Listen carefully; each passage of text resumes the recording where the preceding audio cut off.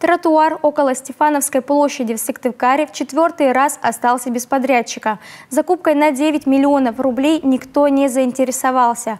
Как указано на сайте госзакупок, на аукцион по приведению в нормативное состояние пешеходного тротуара по улице Ленина от Стефановской площади до улицы Бабушкина не подано ни одной заявки на участие. Торги признаны несостоявшимися. А интересантам муниципальное дорожное хозяйство готово было заплатить больше 9 миллионов рублей.